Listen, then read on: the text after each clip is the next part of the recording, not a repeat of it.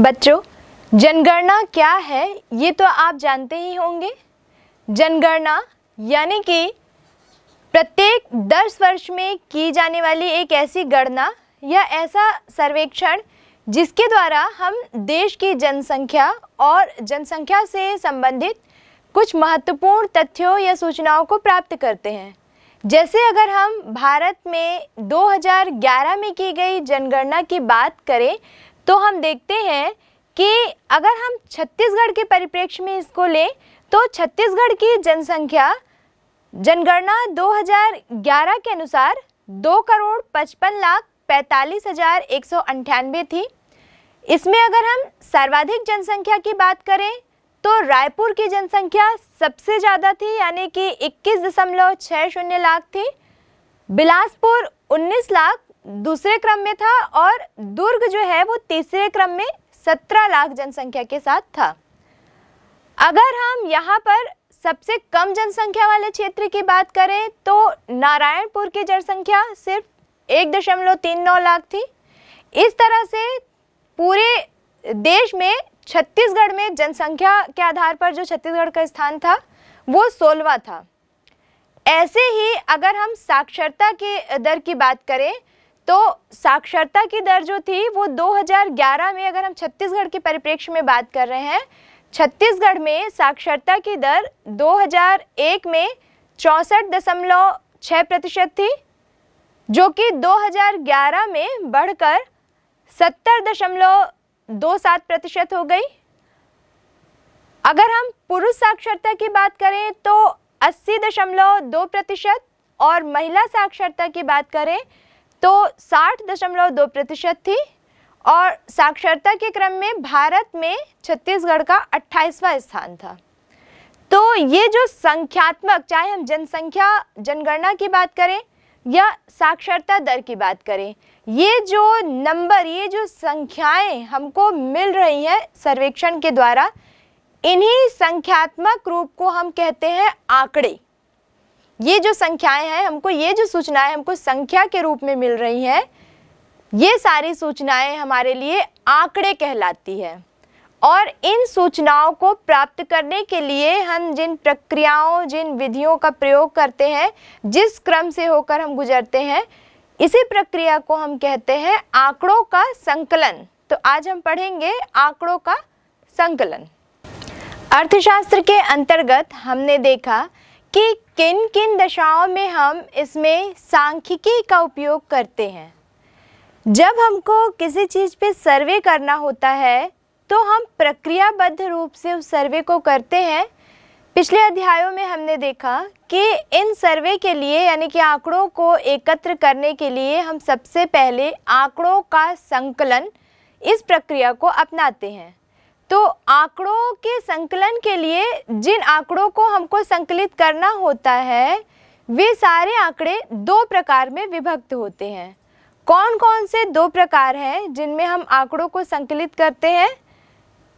प्राथमिक आंकड़े, यानी कि प्राथमिक समंग प्राइमरी डाटा। द्वितीयक आंकड़े, यानी कि द्वितीयक समंग सेकेंडरी डाटा। तो प्राथमिक आंकड़े क्या है और द्वितीयक आंकड़े क्या है? इनकी विशेषताएँ क्या है? किन किन चीज़ों का इसमें समावेश होता है? कौन से इनके गुण होते हैं?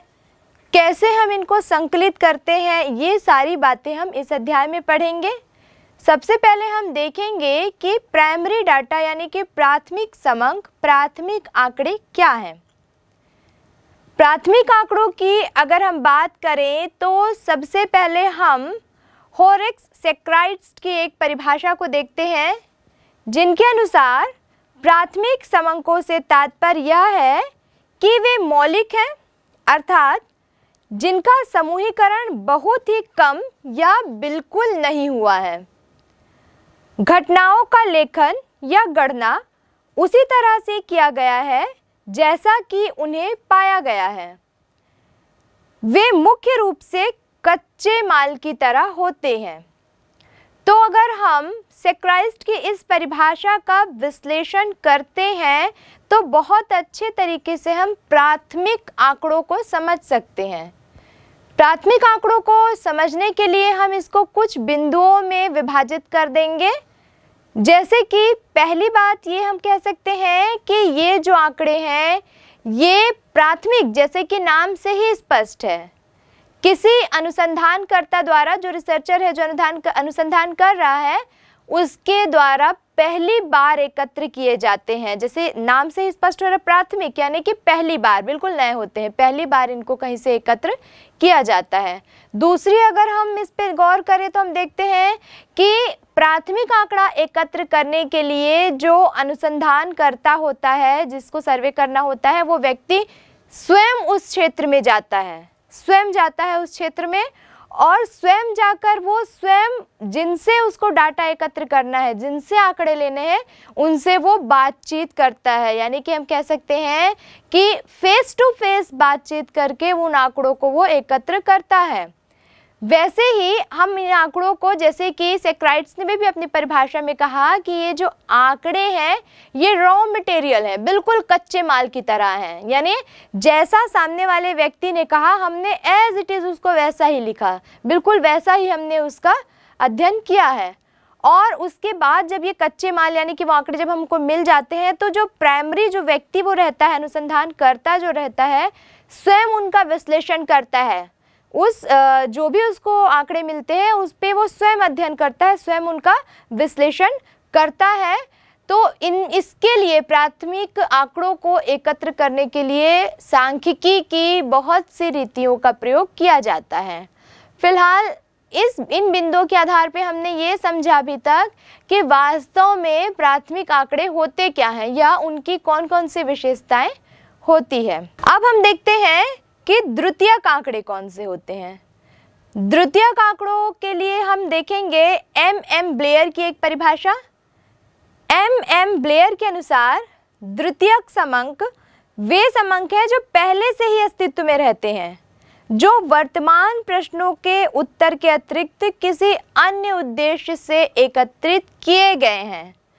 अगर हम ब्लेयर की परिभाषा के आधार पर द्वितीयक समंक का अर्थ जानना चाहे, एक इसका विश्लेषणात्मक अध्ययन करना चाहें तो कुछ बिंदुओं के आधार पर हम इसका अध्ययन कर सकते हैं। कौन कौन से बिंदु निकाल सकते हैं हम? पहली बात तो ये कि मौलिक नहीं होते। जैसा हमने प्राथमिक आंकड़ों के बारे में पढ़ा कि वो मौलिक होते हैं। फेस टू फेस जो अनुसंधान करता होता है, वो बात करके एकत्र करता है। लेकिन ये जो आंकड़े होते हैं, ये मौलिक नहीं होते हैं। क्यों नहीं होते? क्योंकि किसी अन्य व्यक्ति से हमको इसको प्राप्त करना होता है। कैसे हम अन्य व्यक्ति से प्राप्त करते हैं? आगे हम और अच्छे से देखेंगे इसको। दूसरा, ये पूर्व में एकत्र किए जा चुके हैं क्योंकि नाम से स्पष्ट है कि द्वितीयक है, यानी कि पहले से। ये किसी न किसी व्यक्ति द्वारा एकत्र किए जा चुके हैं। अब हम उनसे मांग के वापस अपने यूज़ में हम उसको ला रहे हैं। वैसे ही इनका विश्लेषण, अगर हम विश्लेषण की बात करें तो हमने प्राथमिक समंकों में देखा था कि इनका संकलन करने के बाद उस व्यक्ति द्वारा विश्लेषण भी कर लिया जाता है, जिसने इसका संकलन किया है। यानी जब द्वितीय रूप में जब वो हमको प्राप्त होते हैं तो ऑलरेडी उनका विश्लेषण किया जा चुका होता है। वैसे ही इसमें एक चीज़ और देखने को मिलती है कि अप्रत्यक्ष रूप से प्राप्त होते हैं। जैसे कि हमने प्राथमिक समंकों में पढ़ा था कि जो अनुसंधान करता होता है, वो उस क्षेत्र में डायरेक्ट जाके फेस टू फेस बात करता है और आंकड़ों को एकत्र करता है। लेकिन द्वितीय समंक में क्या होता है कि कोई अनुसंधान करता गया रहा होगा, वो एकत्र करके लाया रहा होगा, हम उससे जाके मांग लेते हैं उस आंकड़ों को। हम डायरेक्ट फेस टू फेस जाके जिनके बारे में हमको जानकारी चाहिए, हम उनसे बात नहीं करते। एक अगर हम द्वितीयक समंक और प्राथमिक समंक को और अच्छे से जानना चाहें तो हम उनमें एक डिफरेंस अगर हम पता लगाएँ, दोनों में अंतर क्या है तो शायद हम उसको बहुत अच्छे से जान पाएँगे। तो आइए देखते हैं, प्राथमिक और द्वितीयक समंकों में क्या अंतर है। प्राथमिक और द्वितीयक समंक के अंतर की बात करें तो सबसे पहले हम देखते हैं कि जो प्राथमिक समंक होते हैं, वो पहली बार एकत्र किए जाते हैं। जैसे कि हमने विशेषता में भी देखा और द्वितीयक समंक जो होते हैं, वो पहले से ही एकत्र होते हैं। जो प्राथमिक में रहते हैं आंकड़े, उन्हीं को द्वितीयक वाला व्यक्ति उठा लेता है। और दूसरा अंतर इसमें ये देखने को मिलता है कि क्योंकि प्राथमिक समंक बिल्कुल नवीन तरीके से एकत्र किए जाते हैं, खुद जो अनुसंधान करता होता है, उस क्षेत्र में जाता है, खुद उन व्यक्तियों को ढूंढता है, उनसे बातें करता है। तो प्राथमिक समंकों की अगर हम बात करें तो उनमें धन श्रम, समय, ये सब बहुत ज़्यादा लगता है। अपेक्षाकृत अगर हम द्वितीयक समंकों की बात करें तो क्योंकि ये पहले से ही इनका सर्वे हो चुका है तो सिर्फ़ हमको वो आंकड़े उठाने होते हैं। तो यहाँ पे धन, श्रम या समय बहुत अधिक नहीं लगता है। वैसे ही अगर हम अंतर की बात करें तो हमने पहले भी देखा कि जो प्राथमिक समंक होते हैं, उनको हम क्या बोलते हैं? वो रॉ मटेरियल हैं। जैसा हमने सुना, वैसा हमने लिखा। कच्चे माल की तरह है। लेकिन वो निर्मित हो जाते हैं तो वो कौन ले लेता है? द्वितीयक जब लेता है, द्वितीयक आंकड़े के रूप में जब आते हैं तो वो निर्मित हो गए रहते हैं मतलब वो निर्मित माल की तरह होते हैं। वैसे ही एक अंतर इसमें और देखने को मिलता है कि प्राथमिक में जो अनुसंधान करता होता है, वो प्रत्यक्ष रूप से जाकर लेता है आंकड़े, लेकिन द्वितीयक समंकों में वो अप्रत्यक्ष रूप से लेता है, आंकड़ों को एकत्र करता है, यानी डायरेक्ट या फेस टू फेस बात करके वो नहीं लेता है आंकड़ों को। इसी तरह अगर हम देखें तो प्राथमिक समंक में हमको जो जानकारी मिलती है, वो बिल्कुल नई जानकारी होती है। लेकिन द्वितीयक में जब वो जानकारी आती है तो पुरानी हो गई रहती है, क्योंकि उसका आधार क्या होता है? प्राथमिक समंक। तो इन अंतरों के आधार पर हम प्राथमिक समंक और द्वितीयक समंक में एक अंतर और अच्छे से, अंतर के आधार पर हम इसका अर्थ और अच्छे से समझ सकते हैं। अब हम द्वितीयक समंक की जहाँ पर बात कर रहे हैं तो उनके संकलन की भी बहुत सारी रीतियाँ होती है। उसी तरह प्राथमिक समंकों के संकलन की भी बहुत सारी रीतियाँ होती हैं। तो सबसे पहले हम देखते हैं कि प्राथमिक समंकों को संकलित करने यानी प्राथमिक आंकड़ों को एकत्रित करने की कौन कौन सी रीतियाँ होती हैं। प्राथमिक आंकड़ों को एकत्र करने के लिए पहली जो रीति है, पहली हम रीति जो पढ़ेंगे वो है प्रत्यक्ष व्यक्तिगत अनुसंधान। अब जैसे कि यहाँ पे नाम से ही दिख रहा है, प्रत्यक्ष मतलब डायरेक्ट जाके कोई व्यक्ति जो है वो रिसर्च करता है। प्रत्यक्ष रूप से जाकर फेस टू फेस वो रिसर्च करता है। तो कौन कौन सी चीज़ें इसमें आ जाती है, इसके मीनिंग के अकॉर्डिंग इसको हम बिंदुवार समझेंगे तो और अच्छे से समझ पाएँगे कि एक तो वो व्यक्ति स्वयं जाता है। स्वयं उस क्षेत्र में जाता है जहाँ पर उसको, जिसके लिए उसको रिसर्च करना होता है। दूसरी बात, वो स्वयं बातचीत करता है। जिससे भी उसको आंकड़े चाहिए होते हैं, उससे वो व्यक्ति स्वयं जाके बातचीत करता है। तीसरी, अगर हम प्रश्नावली की बात करें तो प्रश्नावली वो खुद से तैयार करता है। हमने पहले भी आपको प्रश्नावली में बताया है, आगे आने वाले स्टेप जो हमारे रहेंगे उसमें और हम प्रश्नावली के बारे में बहुत अच्छे से पढ़ेंगे। तो यहाँ पर मुख्य ये है कि प्रत्यक्ष व्यक्तिगत अनुसंधान में जो रिसर्चर होता है अनुसंधान करता होता है, वो स्वयं उस प्रश्नावली को तैयार करके ले जाता है। यहाँ पर उस व्यक्ति की व्यवहार कुशलता बहुत ज़्यादा मायने रखती है। जो व्यक्ति वहाँ पर रिसर्च करने गया है, वो व्यवहार कुशल होगा, सामने वाले व्यक्ति के भाषा, उसके रीति रिवाजों को बहुत अच्छे से समझेगा तभी वो उनसे उन सारी जानकारियों को हासिल कर पाएगा जिसकी ज़रूरत उसको अपने अनुसंधान में है। अगर वो गुस्से से या दबाव डालकर किसी से कुछ पूछना चाहेगा तो ज़ाहिर सी बात है, अगर आपसे भी कोई व्यक्ति दबाव डालकर या गुस्से दिखा के आपसे कोई जानकारी हासिल करना चाहेगा तो आप जानकारी उसे नहीं देंगे। तो उसको व्यवहार कुशल होना और जिस क्षेत्र में वो जा रहा है, वहाँ की भाषा रीति रिवाजों के बारे में परिचित होना भी बहुत ज़रूरी है। दूसरी बात कि जब वो वहाँ रिसर्च करने, जब वो प्रश्नावली भरवाने जाए तो समय जो हो उसका पूर्व निर्धारित हो। पहले से ही उनको जानकारी रहे कि जिनके यहाँ प्रश्नावली भरवाने जाया जाएगा, उनको क्या समय दिया जाएगा, किस समय उनके यहाँ अनुसंधान करता प्रश्नावली भरवाएगा। तो इन सब चीज़ों का ध्यान होना बहुत ज़रूरी है। प्राथमिक समंकों का संकलन जब हम प्रत्यक्ष, व्यक्तिगत अनुसंधान विधि से करते हैं। अब अगर हम प्रत्यक्ष व्यक्तिगत अनुसंधान विधि के गुणों की बात करें, नाम से इसके अर्थ को तो हम भली भांति समझ गए हैं, लेकिन अगर हम उसके गुणों की बात करें तो इसके अंदर कौन कौन से गुण होते हैं कौन कौन सी विशेषताएँ होती हैं, ये हम देखेंगे। तो पहली बात तो ये शुद्ध रूप से एकत्र किए जाते हैं। जैसे हमने अभी भी देखा कि कच्चे माल की तरह होते हैं, बिल्कुल शुद्ध, जैसा सामने वाला बताता है, वैसा ही जो अनुसंधान करता होता है, उसको रिकॉर्ड करते हैं। यानी कि ये कहा जा सकता है कि वो बिल्कुल शुद्ध होते हैं, बिल्कुल नेट होते हैं वो। उसके बाद है, संकलित सामग्रों में सजातीयता होती है। संकलित सामग्री जो होती है, उनमें क्यों सजातीयता होती है? क्योंकि प्रश्नावली जो होती है, वो सभी के लिए, उस क्षेत्र में जितने लोगों से प्रश्नावली भराई जाती है, वो सभी के लिए एक ही प्रश्नावली का प्रयोग वो करता है। जैसे यहाँ पर हम एक प्रश्नावली को देख रहे हैं, उदाहरण के तौर पर, इस प्रश्नावली में किसी गाँव के लोगों के साक्षरता का स्तर पता लगाना है, इसके आधार पर। तो सामान्य से प्रश्न होंगे सबके लिए, जैसे, अगर महिला है या पुरुष है उसका क्या नाम है, उसकी उम्र कितनी है, उसने किस स्तर तक पढ़ाई की है, पढ़ाई छोड़ने का उसका क्या कारण रहा है, क्या वो आगे पढ़ना चाहती है तो इस तरह के जो प्रश्न हैं, वो उस क्षेत्र के सारे लोगों के लिए एक रहेंगे तो ज़ाहिर सी बात है कि आंसर जो आएगा वो भी एक ही रहेगा, यानी कि वहाँ पर जो अनुसंधान होगा उसमें सजातीयता रहेगी। उसके बाद अगर हम देखें इसके गुण की तो एक तो इसमें क्या होता है कि तत्काल परिवर्तन संभव हो सकता है। मतलब हो सकता है कि कोई ऐसा पॉइंट निकल कर आए जिसे पूछना ज़रूरी था, लेकिन जो अनुसंधान करता है, उसने अपने प्रश्नावली में उसको नहीं दर्शाया है। तो उसको वो अलग से पूछ सकता है, प्रश्नावली में परिवर्तन कर सकता है, तुरंत उसमें लिख सकता है। या कोई ऐसा प्रश्न उसको लगता है जो संदेहास्पद हो रहा है या जिसमें सभी को कोई ना कोई संदेह हो रहा है तो उसको तुरंत काट सकता है। तो ये इसमें कहा जा सकता है कि इसका महत्वपूर्ण गुण है क्योंकि डायरेक्ट फेस टू फेस हम वहाँ पर रिसर्च कर रहे हैं तो संदेहास्पद प्रश्न जो होते हैं उनको तत्काल वहाँ से हटाया जा सकता है। एक इसका महत्वपूर्ण गुण ये है कि सीमित क्षेत्र के लिए बहुत उपयुक्त है। अगर छोटा सा क्षेत्र है, छोटी सी जगह है तो वहाँ पर एक व्यक्ति स्वयं जाकर सबसे मिलकर प्रश्नावली भरवा सकता है। ये इसका एक महत्वपूर्ण गुण है।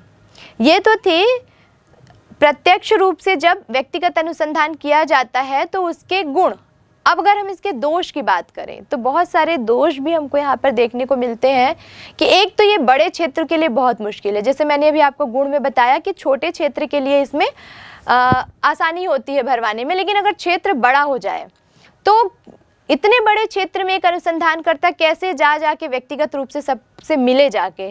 तो ऐसे कंडीशन में क्या होता है? समय श्रम धन इन सब का अपव्यय होने लगता है तो बड़े क्षेत्र के लिए उपयुक्त नहीं है। दूसरी, अगर हम इसके दोष की बात करें तो हम देखते हैं कि पक्षपात की संभावना रहती है।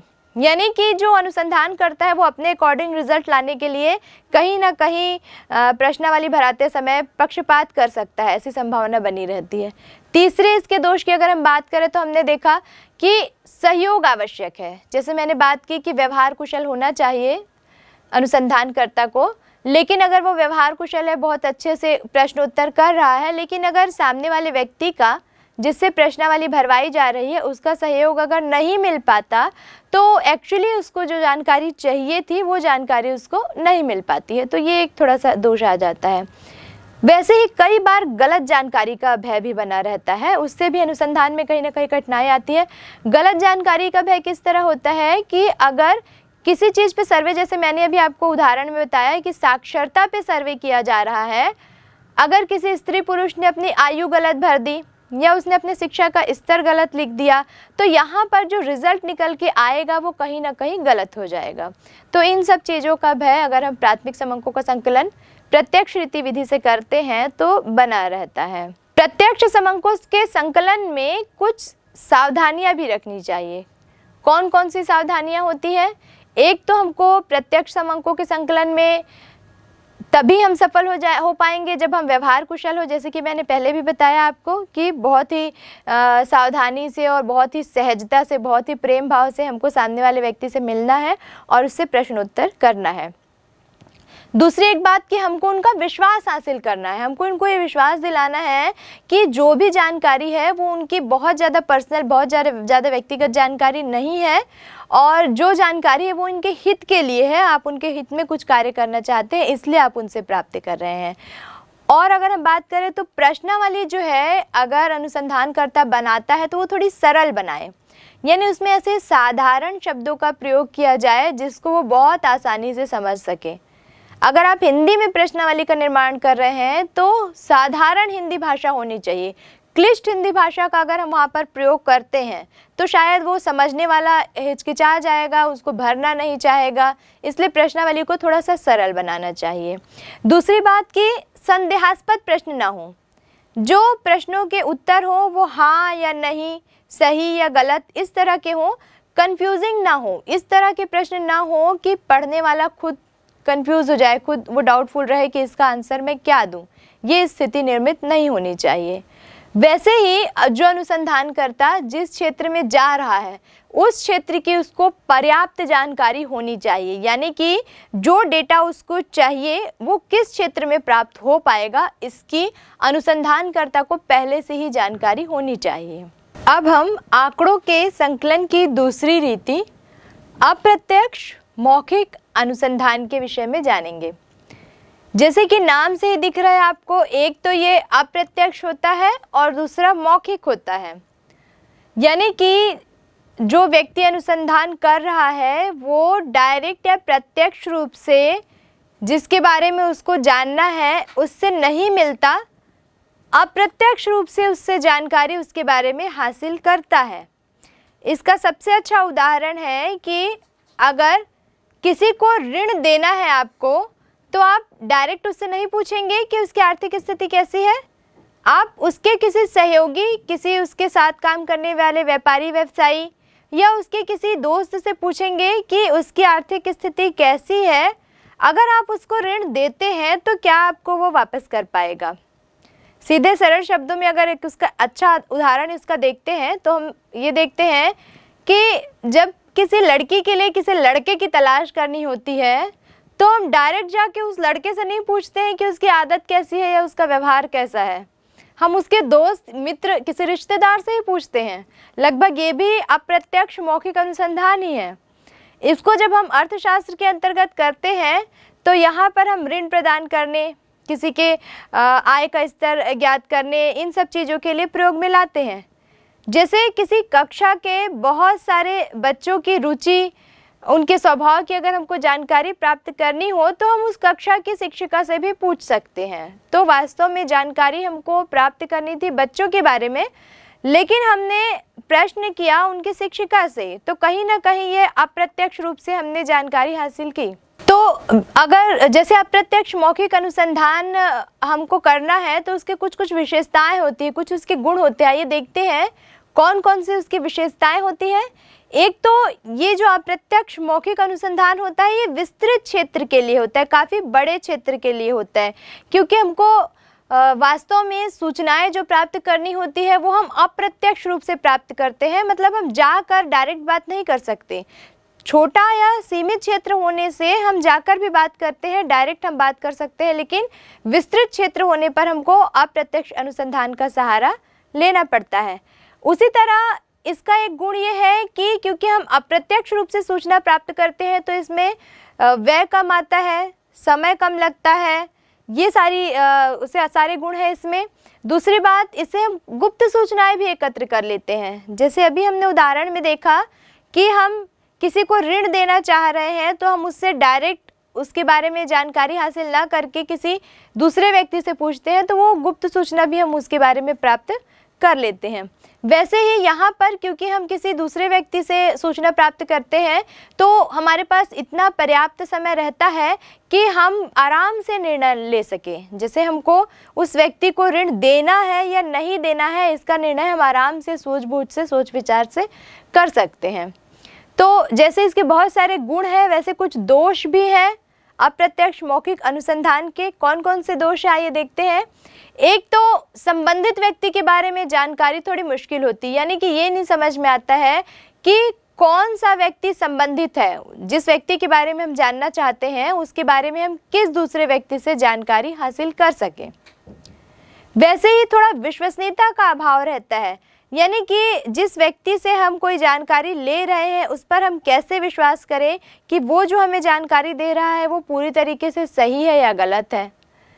उसी तरीके से अगर विश्वसनीयता का अभाव है, हम डाउटफुल कंडीशन में रहते हैं तो हमको निर्णय लेने में भी कहीं ना कहीं कठिनाई होती है कि हम उस अगले व्यक्ति की बात पर विश्वास करें या ना करें। तो ये एक बहुत बड़ा दोष अप्रत्यक्ष अनुसंधान का है।